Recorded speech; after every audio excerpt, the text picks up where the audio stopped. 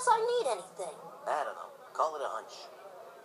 Okay, it's a hunch. It's not funny, Jo. Borders intuition. That's right. I still got it. I really need a vacation. Any ideas? Here, there's a nice vacation spot on Mystery Mountain. That doesn't sound like the kind of rest and relaxation I'd be looking for. Looking for a fishing pole. Normal cast or fly type? Normal cast. Nope. I broke mine trying to reel in the mail from my mailbox. You know, it seemed like a good idea at the time. Fly fishing! Fly fishing! Nope. I've never had any luck fishing for flies.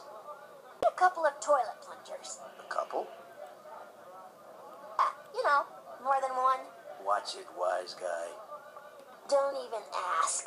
Well, I can give you one plunger, but uh, not two.